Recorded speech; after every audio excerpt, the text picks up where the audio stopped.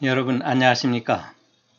아, 지금부터 한국인성문화원이 제공하는 인성지도사 과정의 인터넷 강의를 시작하겠습니다.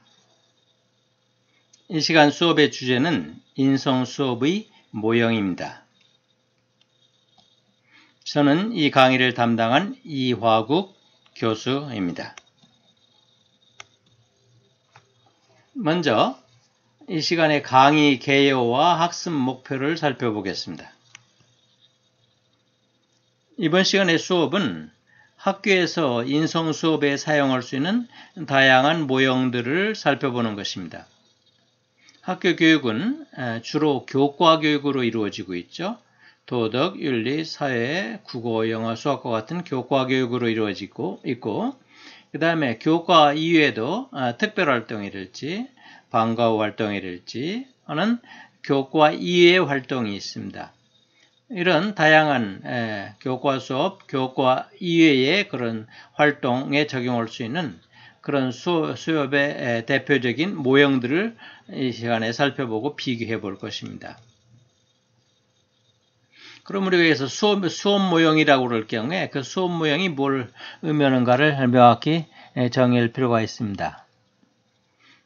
우리가 수업이라고 그럴 경우에는 그 수업은 학생의 학습을 도와주기 위한 활동을 수업이라고 합니다. 교사가 수업을 하는 것은 학생이 학습을 잘 할 수 있도록 도와주는 것입니다.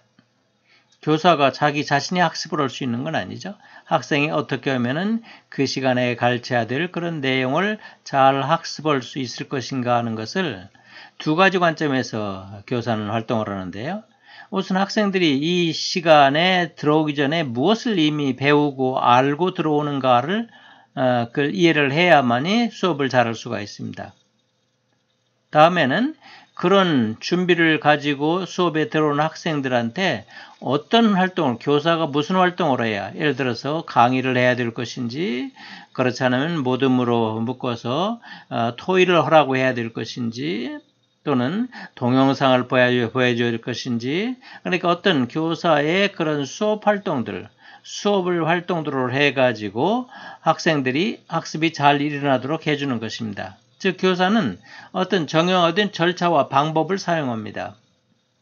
모든 학습을 한달지 실험 학습을 한달지 그렇게 해서 효과적인 학습이 일어나도록 도와주는데 이때 그런 효과적인 학습이 일어나도록 그 내적 조건을 갖다가 조정하는 그런 절차와 방법 이것을 수업 모형이라고 합니다. 다음은 이 수업의 학습 목표입니다.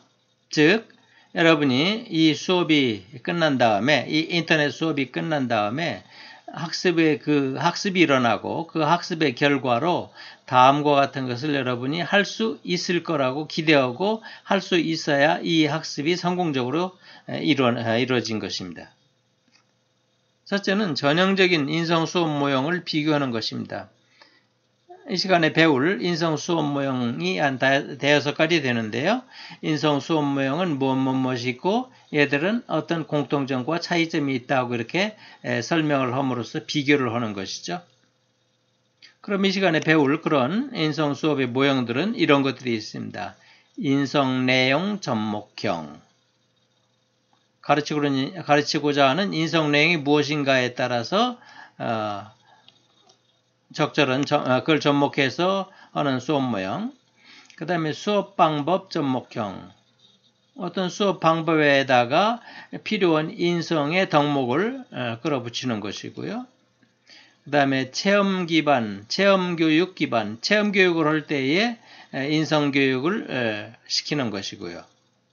또 모델링 기반, 어떤 룰 모델이랄지 그 다음에 어, 교훈적인 에, 그런 에피소드 같은 것을 활용해서 인성 수업을 하는 것이고요. 마지막으로 스토리텔링이라는 것은 요즘 학교에서 스토리텔링형 수업이 상당히 인기가 있죠. 그러니까 학생들이 지루하게 그런 수학이니 과학이니 그런 딱딱한 얘기를 갖다가 아, 그 개념만 할 것이 아니라 그것과 연관시켜서 사회 또는 과학의 기술의 기술의 예술의 그런 다양한 분야와 연관시켜서 이야기 형식으로 어, 수업 지도로면 효과적이라고 그래서 그런 스토리텔링형 수업이 인기를 끌고 있습니다. 이 인성 수업에서도 이런 스토리텔링형 아, 예, 수업을 할 수가 있는 것입니다. 그럼 우선 어떤 모형이 있는가를 좀 살펴보고 이것을 서로 좀 비교를 해 보겠습니다. 첫째는 수업 모형을 교과 접목형, 범교과형 두 가지로 구분합니다. 교과 접목형, 범교과형. 교과 접목형이라는 것은 어떤 교과하고 연계를 시켜서 교과하고 연계해서 수업하는 것이고 이건 어떤 특정 교과와 상관이 없이 인성 수업을 시키는 겁니다. 교과는 학교 교과는 두 개로 나눌 수가 있죠. 우선 인성 교과하고 비인성 교과. 인성 교과는 도덕이나 윤리 같은 겁니다. 비인성 교과는 국어, 영어, 수학, 과학과 같은 인성 교과를 제외한 그런 교과를 비인성 교과라고 합니다. 그걸 비인성 교과라고 어, 보다는 인성 교육의 관점에서는 연계 교과라고 합니다. 이건 인성교과고 나머지는 연계교과입니다. 그래서 우리가 수업을 할 때에 인성교과에서는 그 교육 내용 자체가 아, 인성교과 아, 교육이고요. 이런 것이 예를 들어서 인성의 덕목으로 되어 있죠. 정직이랄지 협력이랄지 배려랄지 하는 그런 수업 내용이 들어있는 것이니까요. 그 다음에 연계교과에서는 그 각 교과에서 가르치고자 하는 개념이나 원리가 있습니다. 그렇지만은 그 개념이나 원리를 가르칠 때에 인성의 덕목을 끼워서 가르칠 수 있는 것이죠. 따라서 교과 내용에서는 어, 그 어떤 교과 내용을 가르칠 때 직접적으로 인성 교과를 지도하거나 인성을 덕목을 지도하거나 또는 그 어, 지도하는 내용과 연계시켜서 어, 인성 수업을 할 수가 있는 것입니다. 그 다음에 더 교과 접목형 중에서는 어떤 교과하고 연관을 시키기는 하지만은 수업 방법을 먼저 생각하고 그 수업 방법에 적합한 그런 교과랄지 또는 덕목이랄지를 끌어붙이는 것을 교육 방법 연계형 수업 모형이라고 합니다. 교과 내용에서는 어떤 교과냐? 인성 교과냐? 연계 교과냐? 이걸 먼저 생각하고 인성 수업을 하는 것이고요. 교육 방법에서는 교육 방법을 먼저 생각하고 이 방법에 어떤 교과, 어떤 내용을 끌어붙일 수 있는가 하는 그런 관점에서 생각하는 것입니다. 이것이 지금 수업 모형을 비교하는 그런 것입니다. 다음에 범교과형이라는 것은 교과와 아, 특별히 상관이 없이 교과와 상관이 없이 이건 무슨 교과가 있어야 되는 것이 아니고 예를 들어서 어떤 체험을 했는데 에, 아프리카 난민을 아, 아, 도와주는 그런 체험 활동을 그런 했다고 그러면은 학생들은 그 체험이 아프리카 난민을 도와주는 그런 체험이 교과하고는 상관이 없죠. 그 체험 활동을 하다가 아 이런 어려운 학생들을 도와줘야 될 필요가 있다 하는 그런 배려심을 배웠다고 하는 것은 그 배려에 대한 배려라는 그런 인성 덕목을 학습하게 해주는 것이죠. 그래서 체험을 할 때에 학습을 더불어서 학습할 수 있는 것을 갖다가 학습시키는 걸 체험 교육 기반 수업 모형이라고 그러고요. 모델링은 어떤 위인의 그런 룰 모델 을 생각한다거나 또는 그의 에피소드를 가지고 어, 그와 관련된 그런 덕목을 수업시키는 것. 이것도 어떤 교과는 아니죠. 교권 아니지만은 어떤 룰을 선정해서 그것을 덕목의 지도에 활용하는 것입니다. 스토리텔링은 어떤 어, 이소부활할지 하는 것들 그런 스토리를 가지고 그 스토리를 어, 활용해서 인성 덕목을 갖다 지도하는 것이죠. 즉 범교과형은 어, 체험교육 활동에서 쓸 수 있는 것, 룰 모델이랄지 하는 모델을 활용해서 쓸 수 있는 것, 그 다음에 스토리를 이용해서 쓸 수 있는 것 이런 범교과형이고요. 그럼 교과 접목형은 좀더 어, 어떤 차이가 있는가를 좀 더 다시 살펴보겠습니다. 즉 교과 접목형 인성 수업은 두 개로 나눌 수가 있다고 그랬죠. 하나는 교과 내용을 먼저 생각하고 그 교과 내용에서 어떤 인성 덕목을 지도할 것인가 하는 그런 거였는데요. 또 다른 하나는 뭐였습니까? 수업 방법, 교육 방법을 에, 교육 방법을 먼저 생각하고 거기에 어떤 인성 수업을 시킬 것인가, 인성 동물 지도할 것인가 하는 것을 어, 고려하는 그런 수업 모형이라고 그랬죠. 교과 내용은 다시 인성 교과와 비인성 교과, 비인성 교과를 뭐라고 그러는가요? 연계교과라고 그랬죠. 그런 인성교과의 수업 모형이냐, 연계교과의 수업 모형이냐 이 두 가지로 구분할 수가 있었습니다. 즉 인성교과에서는 그 인성동물 명시적으로 지도하는 단일 교과입니다. 도덕에서는 인성동물 지도죠. 배례를 지도한달지, 협력을 지도한달지, 효를 지도한달지, 충을 지도한달지 그런 인성을 덕목, 어, 인성 덕목을 지도하는 그런 교과가 인성 교과고요. 그 다음에 나머지 교과들, 기타 영어, 수학과 같은 그런 비인성 교과, 이걸 연계 교과라고 그랬죠. 연계 교과에서는 그 연계 교과의 개념과 원리를 지도하면서 인성 덕목을 같이 함께 지도하는 것입니다. 예를 하나 들어보겠습니다. 우리 과학 교과에서 지구과학에서 지구 온난화에 대해서 배우죠. 지구 온난화, 화학에서도 배우고 지구 온난화에 대해서 배웁니다. 지구 온난화는 아, 인류의 미래를 결정하는 아주 심각한 그런 내용인데요. 우리 탄산가스의 농도가 아, 상승함에 따라서 지구의 온난화가 돼가지고 북극의 얼음이 녹고 남북극의 얼음이 녹아서 해수면이 높여지고 그러니까 전 세계에 있는 해변에 있는 도시들이 사라질 거라는 것입니다. 따라서 이런 지구온난화의 위험성을 이해를 하고 그럼 우리가 이런 온난화를 방지하기 위해서 무슨 활동을 어떻게 해야 될 것인가? 에너지 전략을 해야 될 것인가? 어? 아, 그 다음에 대체 에너지를 써야 될 것인가? 이런 것들에 대한 필요성을 어, 깨달아서 아 나는 어, 에너지를 전략해야 되겠구나 하면은 그것은 지구 온난화, 우리의 사회생활을 하는데 저희가 하나의 배려를 할 필요가 있다는 걸 인식하고 그 배려는 태도를 갖게 되는 그런 교육 효과를 거둘 수가 있습니다. 즉 연계 교과에서는 그 교과의 개념과 원리와 기능과 기술이 있습니다만은 그것과 더불어서 인성의 덕목을 지도할 수 있는 것입니다. 다음에 수업 방법, 교육 방법을 접목하는, 접목하는 그런 인성교육 수업 모형에서는 그 수업 방법을 생각하고 그 수업 방법에 맞는 교과와 덕목을 끌어다 쓰는 것입니다.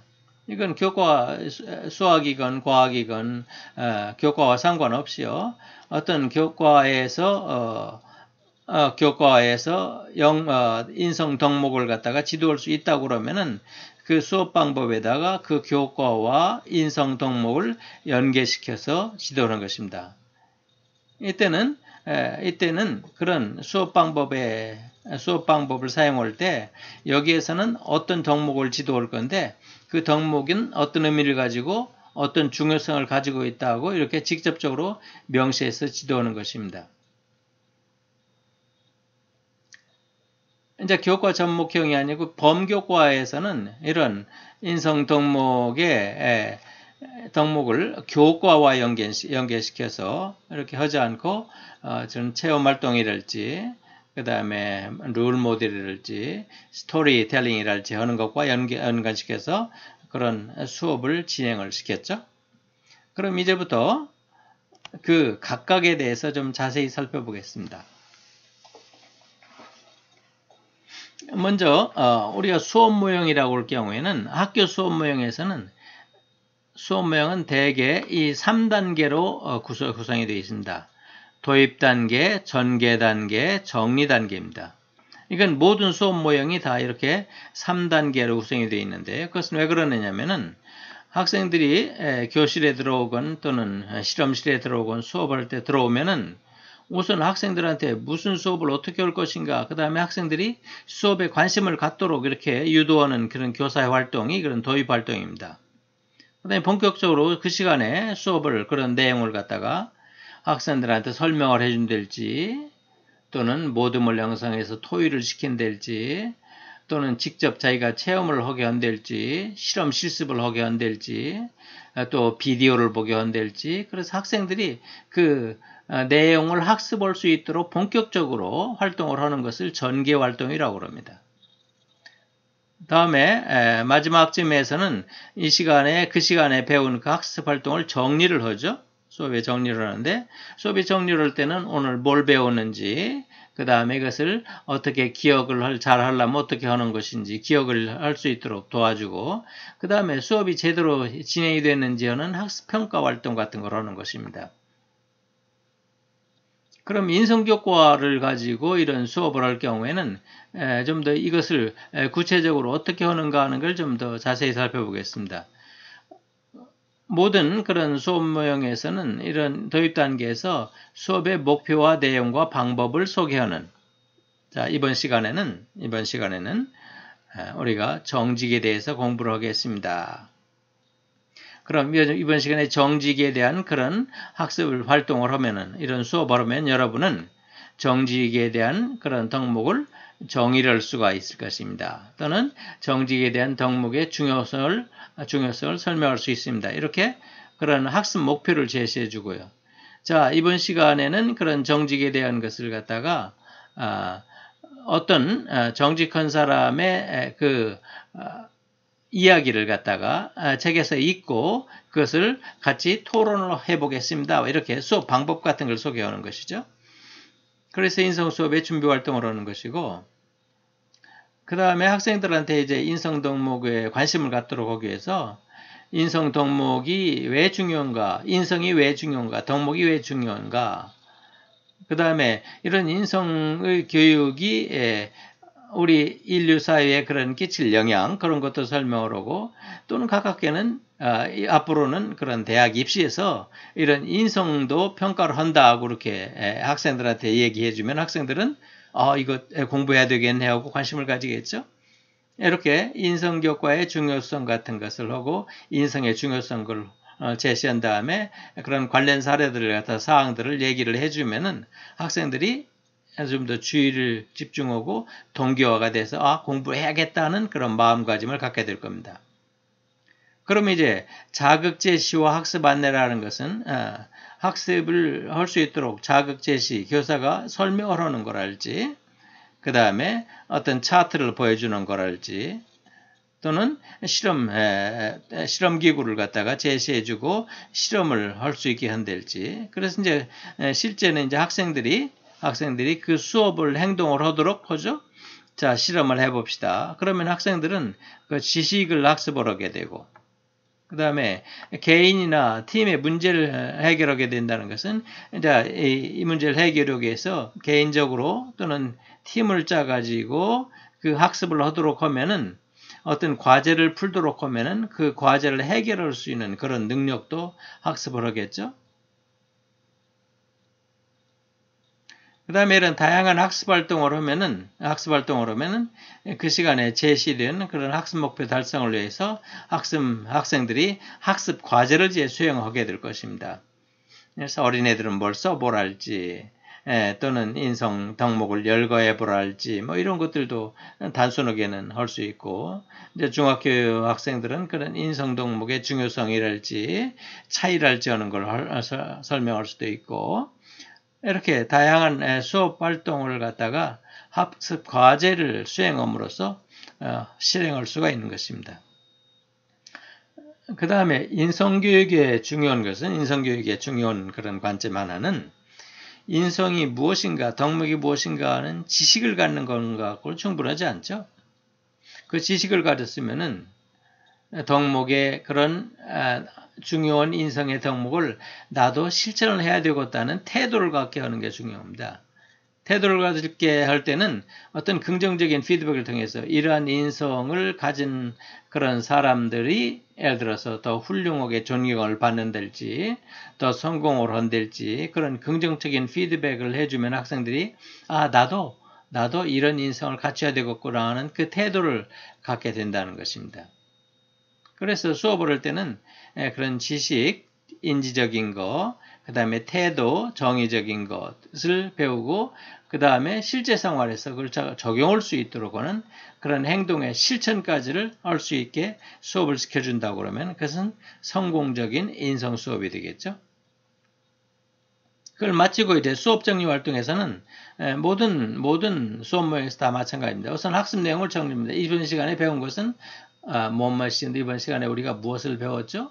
이번 시간에 우리가 어, 배려에 대해서 배웠습니다. 배려가 무엇이었죠?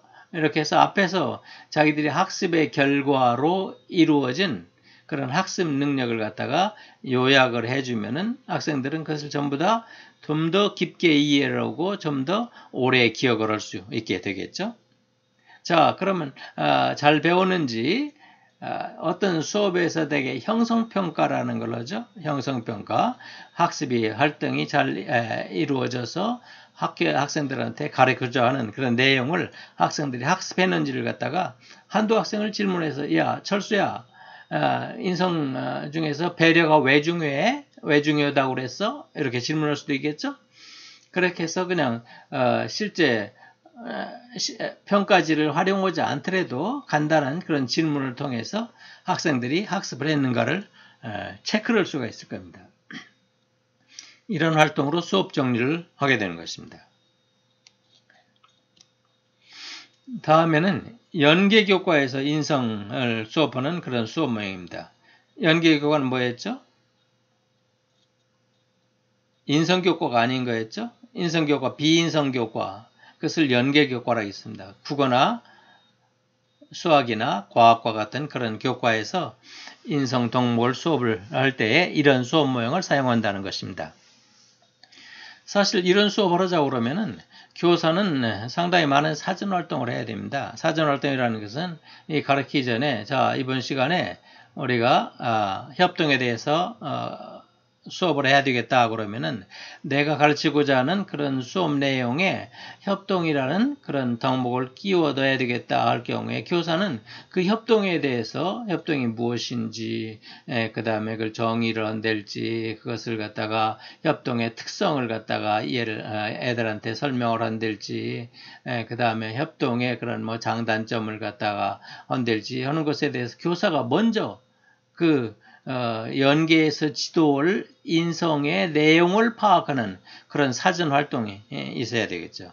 이렇게 하려면은 교육 과정을 분석하고 어, 자기 교육 과정에 맞게 인성 덕목을 이해를 해서 그걸 접속할 수 있도록 수업 계획서를 짜야 됩니다. 따라서 이런 연계 교과에서 인성 덕목을 수업하자고 그러면 교사는 사전에, 그게 자기 전공 교과가 아니니까요. 사전에 그 인성 지도 내용에 대한 그런 이해를 하고 이것을 어떻게 연계시킬 것인가를 수업 계획을 짜야 됩니다. 2015 인성, 인성교육진흥법에는, 인성교육진흥법에는 모든 교사들이 인성을 지도할 수 있도록 그런 연수를 시킬 예정이고 예비고사도 모든 사람들이 나중에 교사가 됐을 때 인성교육을 시킬 수 있도록 인성지도 교과를 필수적으로 개설해서 이수하게 되어 있습니다. 따라서 연계교과를 지도하고 있는 그런 교사들도 인성 덕목을 될 수 있으면 많이 자기 교과와 연계시켜서 지도하라고 어, 되어 있는 것이 새로운 인성교육 시스템에서 요구하는 것입니다. 그러면 이런 교사의 사전 활동을 한다면 교사는 다시 일반 수업 모형이 가지고 있는 그 세 단계, 즉 도입과 전개와 정리 단계를 통해서 어, 인성 수업을 실시하게 될 겁니다. 이건 인성 수업을 실시하는 게 아니라 자기 수업을 실시하면서 인성도 아울러서 가르치게 되겠죠. 다른 수업과 마찬가지로 이것도 수업 목표 내용, 방법을 소개를 해야 됩니다. 이번 시간에는 2차 방정식에 대해서 배울 것입니다. 이번 시간에는 화학 방정식을 완결하는 것을 배울 것입니다.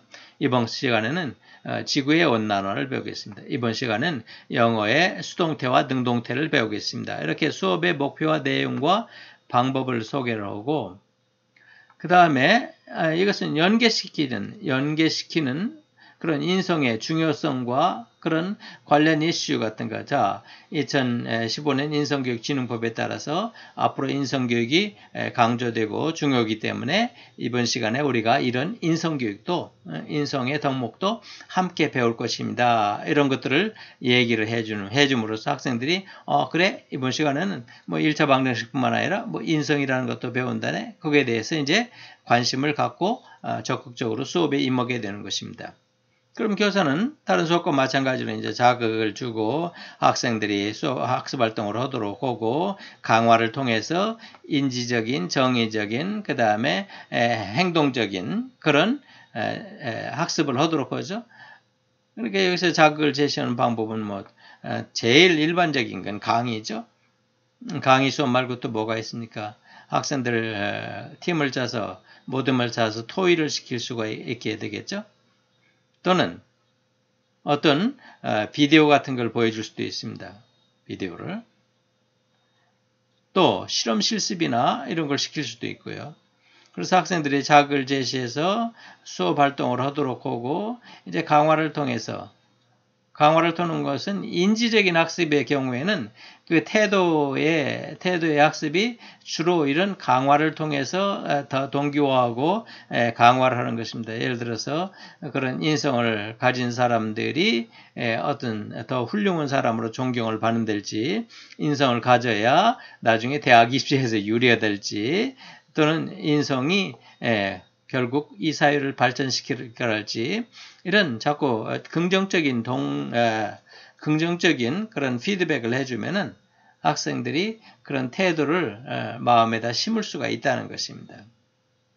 그 다음에 수업 정리 활동은 에, 이번에 배운 것은 자 1차 방정식만 배운 게 아니라 뭐도 배웠죠? 우리가 협동이나 배려에 대해서도 배웠죠? 하고 같이 활동을 정리해 주는 것입니다.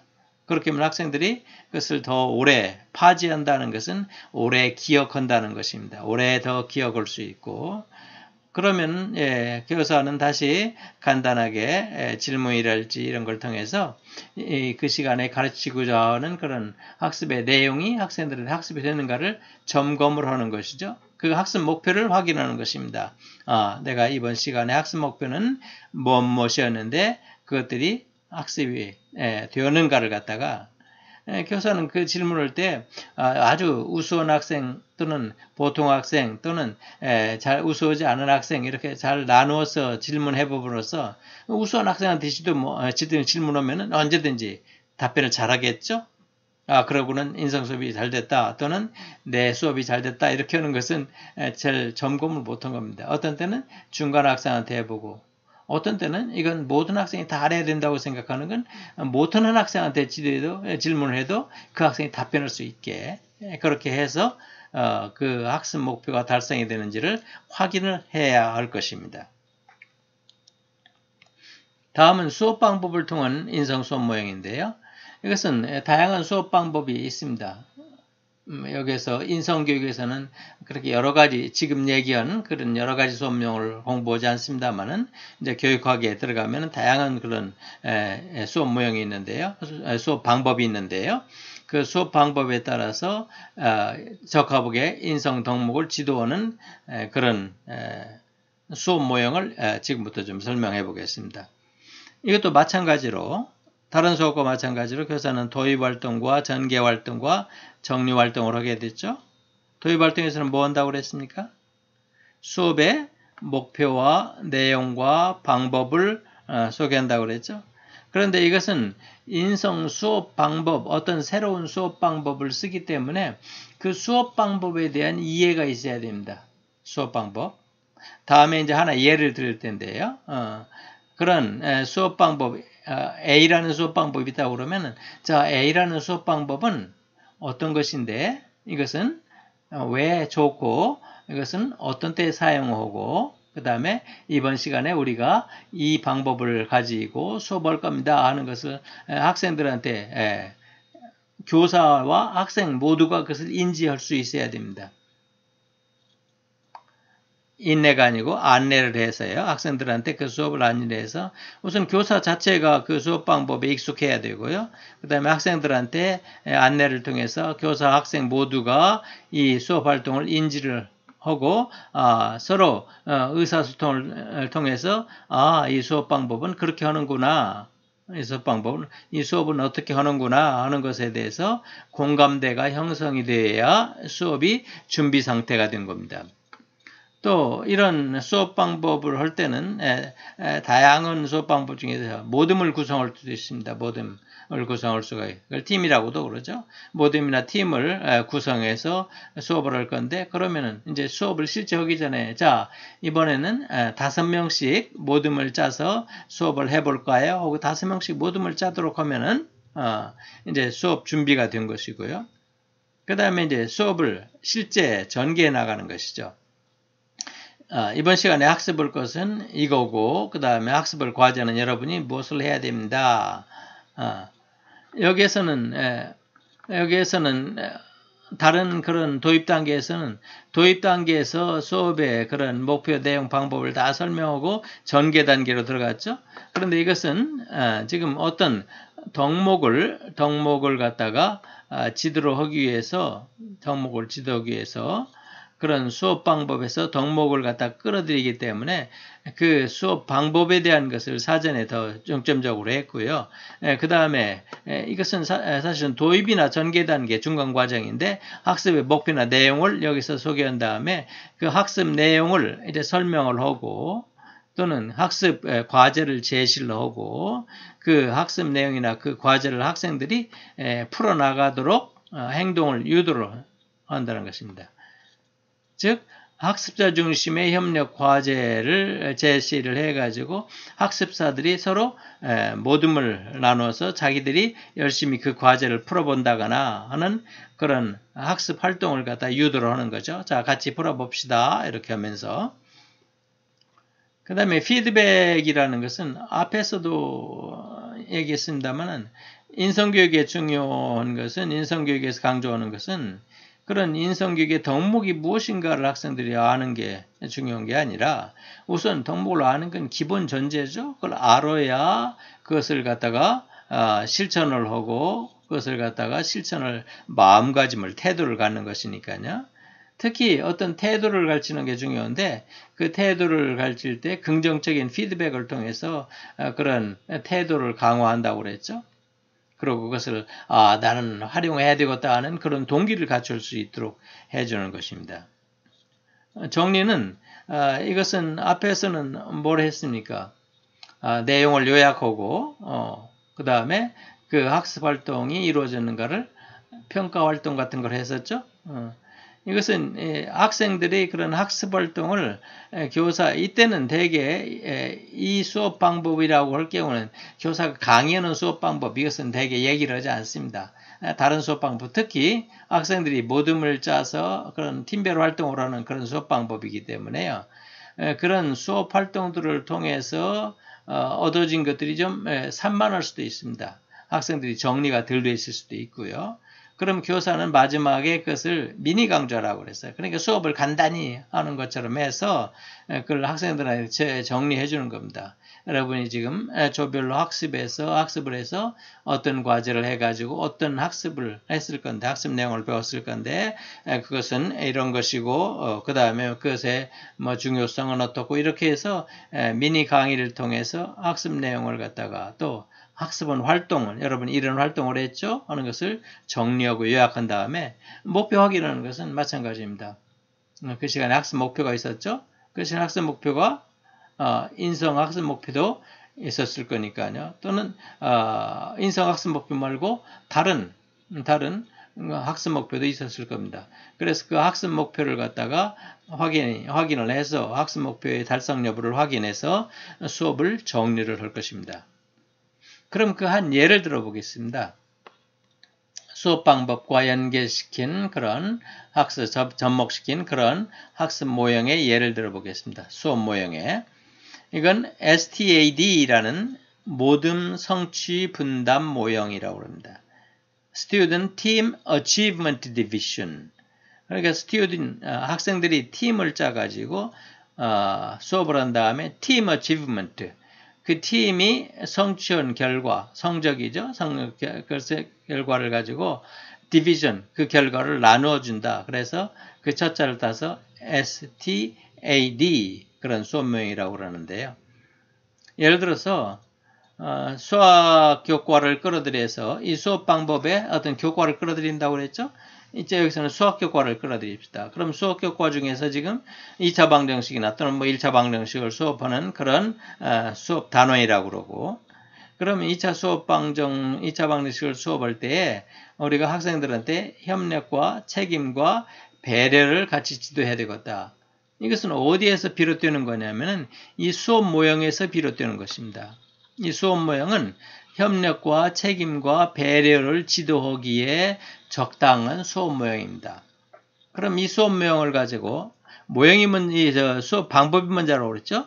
어, 수업 방법 이런 수업 방법을 가지고 그러면 어떤 것을 어, 수업을 할 것인가 여기서는 수학 교과의 2차 방정식을 수업하자는 것입니다. 그래서 여기는 어떤 교과 내용과 그 다음에 인성의 덕목, 교육시킬 덕목이 함께 어우러져 있는 것이죠.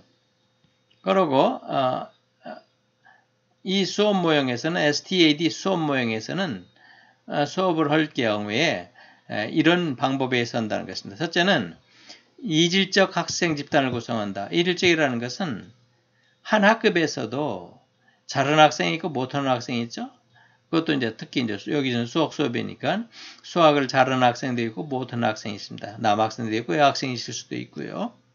그럼 그 잘하는 학생끼리 모든 학생끼리 남학생끼리 이 학생끼리 집단을 구성하는 게 아니라 그걸 골고루 섞어서 잘하는 학생과 모든 학생을 이렇게 섞어서 남녀 학생을 섞어서 이런 이질적인 집단을 구성한다는 것이고요. 그러면 그 중에 잘하는 학생들을 중심으로 해서 어, 그 중에 못하는 학생을 서로 가르치고 배우는 그런 활동을 하게 합니다. 그렇게 교사가 지금 강의를 해서 학생들한테 2차 방정식을 가르치고 뭐 협력에 대해서 가르치고 오는 것이 아니라 이건 학생들이 서로 어, 그 과제를 풀어가면서 어, 그 중에 좀 잘하는 학생들은 좀 가르치고 어, 같이 공부도 하고 같이 공부도 자 이번에 이걸 풀어보자. 그러면 잘 푸는 학생도 있고 못 푸는 학생도 있겠죠. 그럼 못 푸는 학생은 잘 푸는 학생한테 가서 야 이거 안 되는데 하면 그 학생이 좀 설명을 해서 가르쳐 줄 수도 있고요. 이렇게 가르치고 배우는 활동을 학습 활동으로 전개를 하고요. 그 다음에 그렇게 그런 활동이 다 끝났으면은 애들 다 시험을 봅니다. 시험을 보면은 개별적으로 점수가 나오겠죠? 당연히 뭐 잘, 잘하는 학생은 더 잘 나올 거고 못하는 학생은 못 나올 거고 또는 어떤 못하는 학생도 그 시간에는 수업을 잘해서 학습을 잘해서 그 시간 점수가 높을 수도 있습니다. 학습이 잘 된 사람은 점수가 높고 학습이 잘 안 된 사람은 지가 가르치는 입장에서라도 오히려 배우는 사람보다 점수가 낮게 나올 가능성도 없지는 않겠죠? 그래서 점수가 나오면은 그 학급의 학급 그 각 조별로 모든 별로 그 학생들의 점수를 합합니다. 합해가지고 그 학생 수로 나누면은 그 모듬의 평균 점수가 나오겠죠. 그래서 점수를 줄 때에 그 모듬의 평균 점수로 각 학생의 점수를 준다는 것입니다. 이건 상당히 문제가 있는 그런 학습이라고 생각할 수도 있죠. 예, 다시 정리해 보면은 학습 방법을 활용하는 방법에 대한 정확한 이해가 이 수업을 하려면 필요하고요. 그 다음에 학생들한테 자 이번 시간에 수업을 하는 것은 2차 방정식을 배우는 것뿐만 아니라 인성 덕목을 우리가 학습하는 것이 매우 중요하다. 인성 덕목. 그러니까 여러분은 이 학습을 통해서 서로 배려하고 그 다음에 자기 책임을 다하고 그 다음에 서로 협력하는 그런 학습 활동을 하고 그것에 대해서 관심을 갖도록 해라 하고 사전에 학생들한테 그걸 인지시키고 수업에 임해야 된다는 것입니다. 즉 어떤 수업 아, 방법이 가지는 수업 방법이 가지는 그 특성이 인성의 어떤 덕목을 지도하기에 적합한 것인가를 갖다가 학생들이 충분히 그걸 이해할 수 있도록 사전에 학생들한테 그걸 인식시키고 인지시키고 수업을 해야 된다는 겁니다. 왜냐하면 그렇지 않으면은 자 이번 수업해 가지고 나는 뭐 이미 2차 방정식이 달달 끼는 사람인데 만점 맞는데 100점 맞았고 이번 시험에도 그런데 쟤는 지금 수학을 잘 못해서 점수가 아주 형편없는데 다 점수를 평균 내면 내 점수 깎아먹는 거 아니야? 하고 상당히 불만을 표시할 수도 있습니다. 불만을 표시할 수 있죠. 그런데 학생들이 이 시간에 수업 목표가 뭐라고 그러면은 협력과 책임과 배려를 배우는 것이라고 그러면은 배려를 배우는 것이라고 그러면은 어, 서로 협력과 책임 배려를 통해서 어떻게 해야 자기 팀의 점수를 높여야 되겠구나 하는 그런 생각을 갖고 이걸 높여서 그 점수의 평균을 내가 내 점수로 받는 게 당연하다고 어, 승복을 하게끔 해야 된다는 것입니다. 그 다음에 이런 팀별 학습을 하면은 모두 명성하고 학습 공동체로 이렇게 서로 소통을 하죠 학생들이 예, 소통을 해서 그 소통을 통해서 어떻게 하고 배우고 서로 가르치고 의사소통을 해나가겠죠. 이것도 이런 소통도 사실은 인성의 핵심 덕목이라 아, 핵심 능력이 있었죠. 핵심 역량이 있었습니다. 그 소통도 소통은 핵심 덕목이 되기도 하고 그런 핵심 역량이 되기도 하죠. 소통을 통해서 그런 덕목들이 잘 활용할 수 있는 것이니까요. 이것도 중요한 인성교육의 그런 요소가 되는 것입니다. 그 다음에 이 마지막 그 정리 활동에서는 학생들이 놓치기 쉬운 부분을 간략히 요약 정리한다 그랬습니다. 즉, 이 수업이, 이 수업이 2차 방정식을 배우는 것뿐만 아니라 우리가 뭘 해서 협력하고 책임하고 배려해서 어, 그 팀의 점수를 높이는 것이 중요한 요소 중에 하나였다. 그 다음에 여러분이 그 과정을 통해서 소통하는 그런 능력을 배우는 게 중요한 것이다. 이런 것들을 갖다가 요약하고 정리를 해줄 필요가 있는 것입니다. 다음에 교과와 상관이 없이 범교과적으로 활용할 수 있는 그런 수업 모형들이 있었죠. 그러면 이것은 뭐 체험 교육 기반도 있었고, 그 다음에 룰 모델 기반도 있었고, 그 다음에 스토리텔링 그런 것도 있었는데요. 그 각각에 대해서 좀 자세히 살펴보겠습니다. 먼저 체험 교육 기반 인성 수업 모형이라는 것은 이것도 다른 수업과 마찬가지입니다. 뭐가요? 도입하고 전개하고 정리하는 이런 큰 단계는 마찬가지인데 그 세부 단계에서 활동들이 약간씩 달라지는 것이죠. 이건 먼저 체험 활동과 그 의미를 소개한다. 자, 이번에는 우리는 농촌 봉사 활동을 할 것입니다. 농촌 보르살도로인데 지금 추수 시절에 추수 시절에 어, 그런 배추를 지금 아니, 배추를 지금 어, 걷어들이는데 손이 모자라서 우리가 가서 그런 농부들을 도와줄 것입니다. 그래서 어떤 체험을 할 것인지 그런데 그 도와주는 게 뭔 의미가 있는지 그 다음에 이걸 어, 우리가 조별로 나누어서 어, 얼마나 많이 이런 어, 배추를 뽑는가를 어, 경쟁을 해보겠습니다. 이런 방식으로도 할 수 있겠죠. 음. 그래서 모든 활동을 하면은 그 모든 활동에 가는 그런 이점도 활용을 하고 어, 그걸 학생들이 알게 하게 하고요. 그래서 수업 활동을 어, 소개를 해야 학생들이 그 체험을 할 수 있고요. 특히 이때 조심해야 될 것은 안전에 문제가 있다고 그럴 경우에는 학생들이 안전은 그런 안전에 신경을 쓰도록 사고가 나지 않도록 그런 체험을 어, 하는, 하게 하는 것이 매우 중요합니다. 그러니까 학생들이 체험 교육이 중요한데도 이런 걸 못하는 이유 가운데 하나는 어디로 나가야 되고 체험장으로 나가야 되고 그러자면 이동해야 되고 경비 들고 시간 들고 하는 것들이 문제지만은 사실은 제일 무서운 게 안전사고입니다.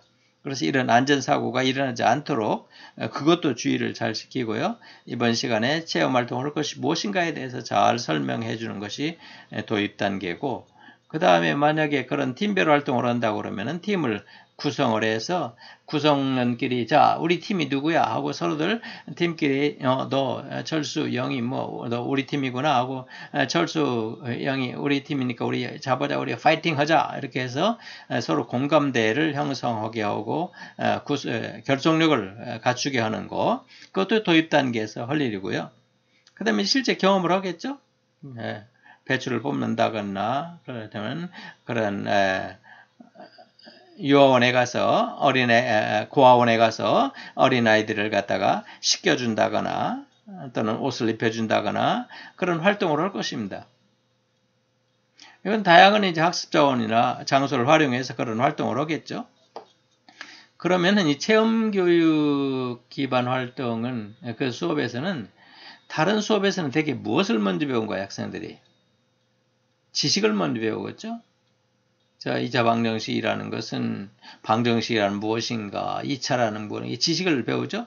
지식을 배운 다음에, 그 다음에 덕목도 마찬가지입니다. 우선 덕목을 갖다가 할 때 대개는 어, 교, 교과형에서 그러니까 윤리나 그런 도덕교과에서 자 정, 정직을 가르친다면은 자 정직이 무엇인가 그 정의를 하고 개념을 파악하고 그 다음에 특성과 장단점과 이것의 활용 사례와 이런 것들을 갖다가 지식적으로 먼저 배우는 게 예, 먼저죠. 그 다음에 그 지식을 갖다가 어떻게 해서 긍정적인 피드백을 통해서 태도를 갖도록 한다고 그랬죠. 아 나는 정직해야 되겠구나. 그 다음에 그 태도를 갖출 뿐만 아니라 그 실제 나중에 나가서 실천적인 활동을 할 수 있도록 다시 강화를 시키고 피드백을 한다고 그랬습니다. 그런데 체임교육에서는 학생들이 실제 어떤 활동을 하죠. 활동을 하니까 사실은 행동을 먼저 배우는 겁니다. 행동을. 이게 아주 특색이 있는데요. 예를 들어서 이번 시간에 그런 인성의 덕목이 협조라고 그런다 그러면 또는 배려라고 그런다면은 배려 그 배려를 하는 그 행동을 먼저 하는 것입니다. 고원의 아이들을 통 아이들한테 배려를 함으로써 그 배려라는 행동을 먼저 하죠. 그리고 여러분이 지금 어, 그 어린 아이들을 도와주는 것이 바로 배려고 배려의 중요성이 뭐고 하면서 지식과 태도를 어, 이제 학습하게 한다는 겁니다. 체험교육, 그, 체험교육 기반의 그런 학습 모형, 수업 모형에서는 다른 것이 지식, 태도, 어, 행동의 그런 순서가 아니라 행동, 지식, 태도의 순서로 학습이 이루어진다는 그런 차이가 있습니다. 다음에 그런 체험을 서로 아, 한 다음에 아, 야 이번 시간에 해보니까 어땠느냐 기분이 어땠느냐 어떻게 생각하느냐 이런 것을 이 얘기를 나눠가면서 야 이건 정말 우리 사회에 이렇게 어려운 사람이 많은데 우리가 이렇게 돕지 않으면 안 되겠다 하는 그런 배려심에 배려심을 갖도록 그런 태도를 강화하는 그런 활동들을 할 수 있는 것이고요.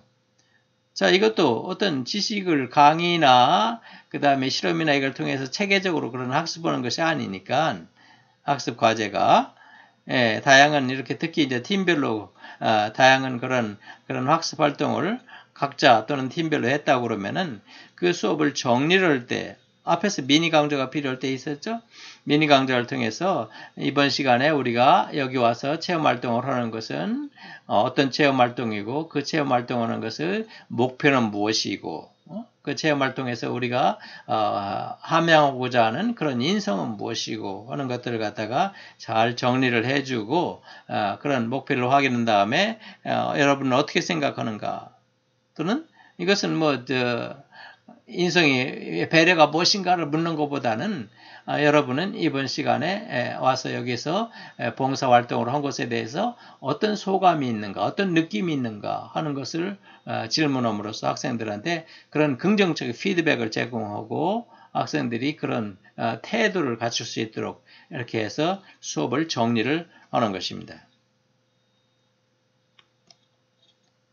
다음에 모델링 기법 인성 수업 모형에서는 어, 이것도 도입 단계에서 어, 이러, 오늘 수업에 모델링 수업을 하는 이 수업의 중요성, 방법, 내용 어, 이런 것을 갖다가 먼저 소개를 해서 도입을 합니다. 이건 모델링 기법이라는 건 반도라의 사회학습 이론이라는 건데요. 우리가 어떤 학습을 할 경우에 사회 활동을 통해서 사회 활동을 통해서 학습을 한다. 그러니까 룰 모델이랄지 우수 사례 같은 걸 봄으로써 다른 사람이 어떻게 하는가. 예를 들어서 인성이 좋은 사람이 어떤 활동을 하는가 하는 것을 봄으로써. 어, 사랑하라 그러죠? 사랑하라. 그러면 사랑을 어, 가장 실천을 잘하는 사람 중에 하나가 예수입니다. 예수는 원수까지도 사랑하라고 그랬죠? 그럼 예수의 그런 예수의 모델이 하나의 룰 모델이 되는 것이죠. 그럼 예수는 어떻게 원수를 사랑할 수 있었는가? 그런 사랑에 대해서 배울 때 그 룰 모델을 사용하고 어떤 우수 사례 자 이수연 씨가 동경역에서 일본 사람을 어, 지하철에 떨어진 일본 사람을 철로에 떨어진 사람을 구하고 자기는 죽었죠. 이건 참 여러 가지 생각을 하게 합니다만은 이것은 어떤 사례입니까? 남한테 봉사하고 그 다음에 배려를 하고 타인에 대한 배려를 한 것이죠. 배려를 하고 그 다음에 자기는 시민으로서 시민성 아주 좋은 시민성을 가지고 어려운 사람을 돕는 책임을 한 건, 예, 책임이라는 덕목을 완수를 어, 한 것기도 하고요. 어, 그래서 이런 예, 하나의 우수 사례가 되죠. 이런 걸 전부 다 하나의 모델로 사용하는 것입니다. 그래서 오늘은 이수연 씨의 그런 선행에 대해서 학습을 하겠습니다 하면서 자연스럽게 그런 책임이랄지 시민성이랄지 배려랄지 이런 것들을 갖다 학생이 배울 수 있도록 하는 것입니다.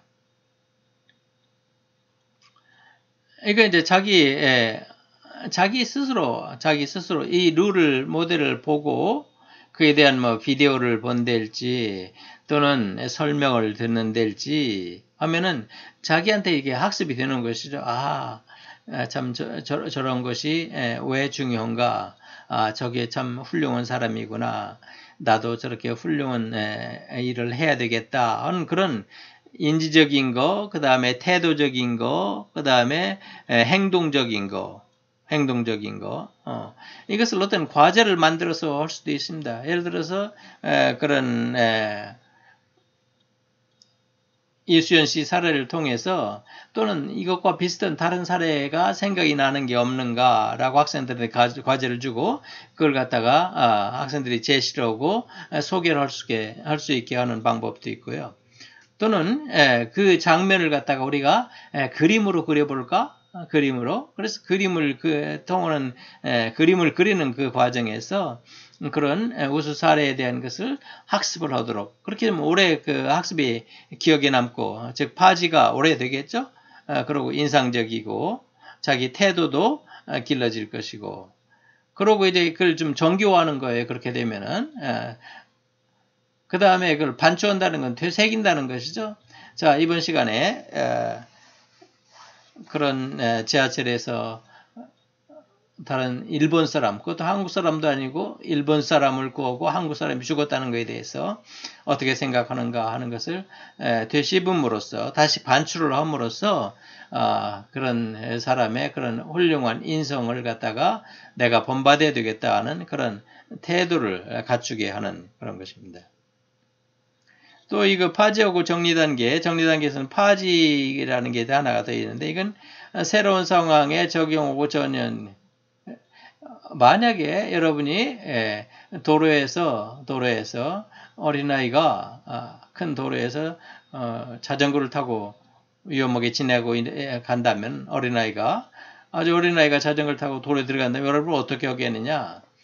그럼 이순희 씨가 했던 것처럼 빨리 들어가서 그 학생을 구해내는 그런 것이었으면 좋겠죠. 어, 그래서 다른 비슷한 상황을 제시를 하고 그때 우리가 어떻게 할 수 있는가 어떻게 할 수 있는가 또는 예를 들어서 어, 지하철을 탔는데 불이 났다 불이 났다 할 경우에 우리가 뭘 할 수 있는가 근데 그건 약간 좀 다른 상황이죠. 그러면 아 그 소화기를 갖다가 불을 끈달지 그 에, 긴급 전화를 통해서 그 불난 것을 보고한달지 또는 안전하게 대표라고 뭐 소리를 진댈지 이렇게 아, 좀 더 새로운 상황에 그 적용을 해보고 그걸 전이를 시키면은 그 인성 덕목을 더 확실하게 학습할 수 있겠죠.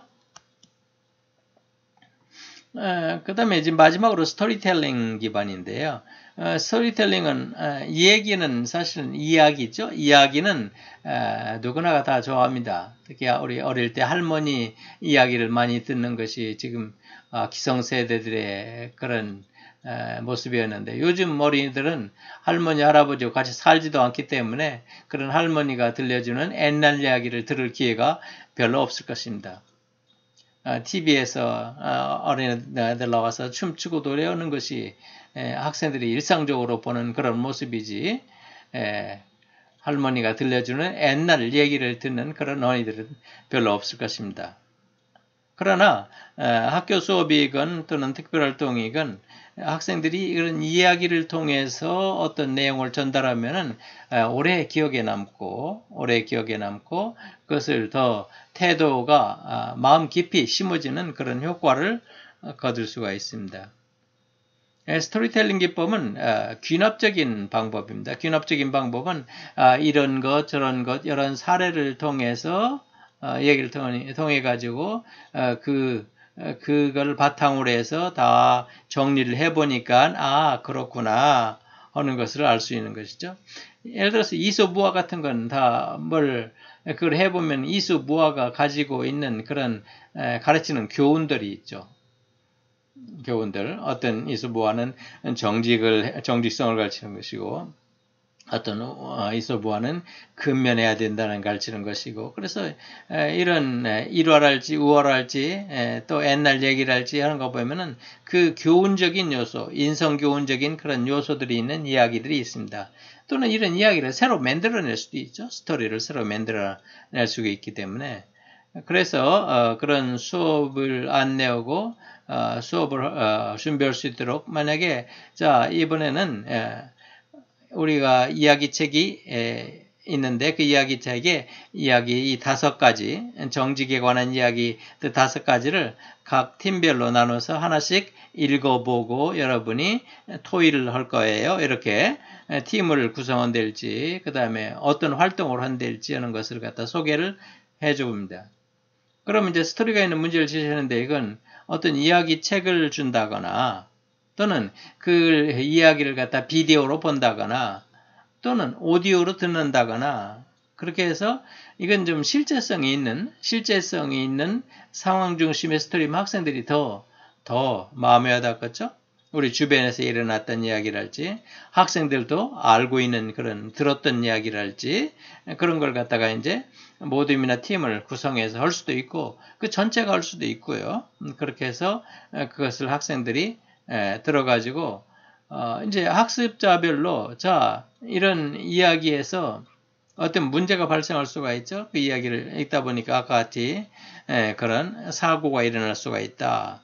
그럼 사고가 일어났을 때 어떻게 할 것인가 하는 걸 서로 이제 협력을 해서 아, 이런 사고가 일어날 때는 자 예를 들어서 지하철에서 그 사고 어, 불이 난 걸 발견했을 때는 어떤 것을 할 수 있는가, 아, 대개 소화기는 어디에 있는가, 그럼 비상전화를 한다고 할 경우에 비상전화는 어디에 있고 비상전화를 할 때는 뭐라고 어떻게 얘기를 해야 되는가 하는 것들을 갖다가 서로 얘기를 해가면서 어, 서로 토의를 해가면서 어, 거기에 관련된 어, 그 과제를 해결하면서 지식과 행동을 갖다가 하고 지식인 부분과 적용적인 부분을 함께 해야 되겠죠. 자, 그런 수화기를 사용을 한다 때 어떻게 사용할 것인가, 사용하는 방법, 그 다음에 이런 것을 갖다가 어, 그런 지식적인 부분하고 적용하는 부분을 갖다가 함께를 하고 그 다음에 이제 어, 피드백을 통해서 앞에서 모든 게 이제 그런 걸 하면은 태도를 강화하는 데는 피드백을 통했죠.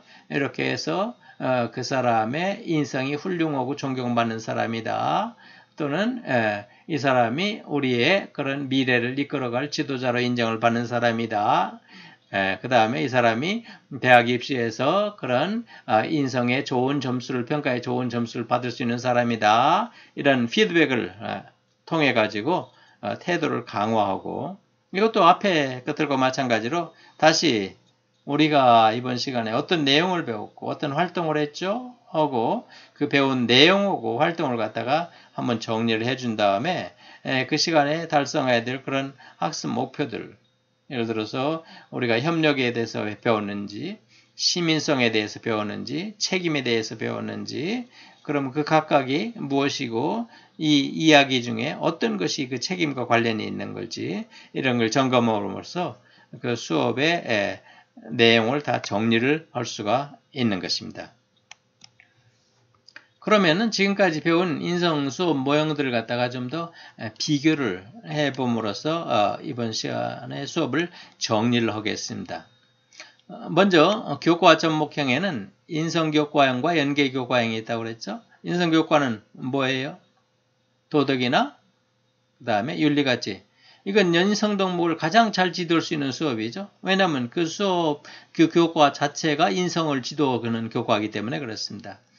연계 교과형은 자기 교과 내용 중에서 인성 덕목과 접목이 가능하구나. 우리가 저쪽에 모으면서 자연보호랄지 환경뭐 파괴랄지 하면서 배려 같은 것을 가르칠 수도 있고 시민의 시민성, 시민의 책임 같은 걸 가르칠 수도 있고 그러죠.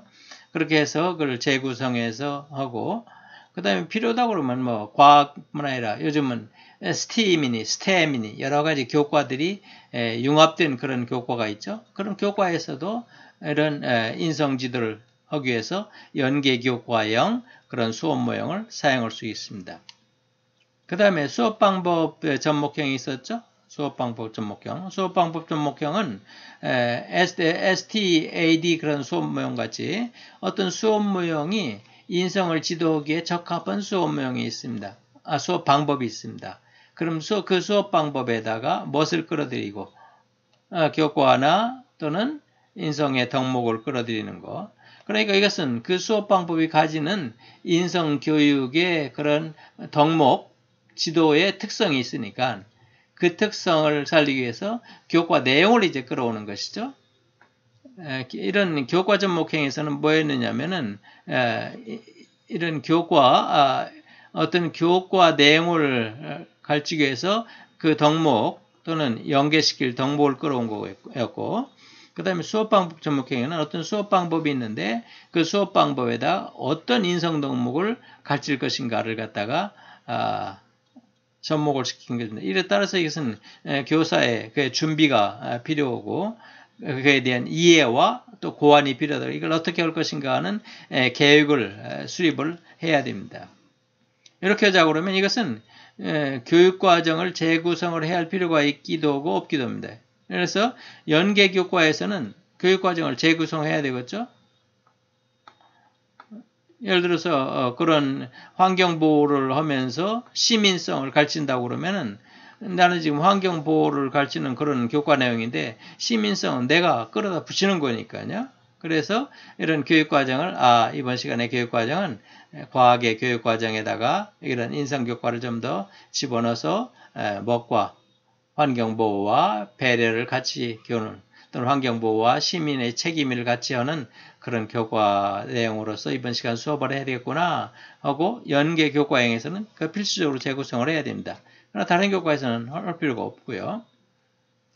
그 다음 이어서 범교과형 그런 것들을 살펴보겠습니다. 범교과형 체험교육 기반 수업 모형이 있었고요. 모델링 기반 수업 모형이 있었고요. 스토리텔링 수업 모형이 있었죠. 체험 기반은 학생들이 체험을 먼저 하죠. 그 다음에 체험을 해본 다음에 다 모여 앉아서 아, 오늘 체험한 걸 되돌아보고 의견을 나눌 수도 있습니다. 이렇게 해서 자기가 그 체험을 통해서 뭘 학습하는 걸 이걸 귀납적인 학습이라고 합니다. 귀납적인 학습. 음.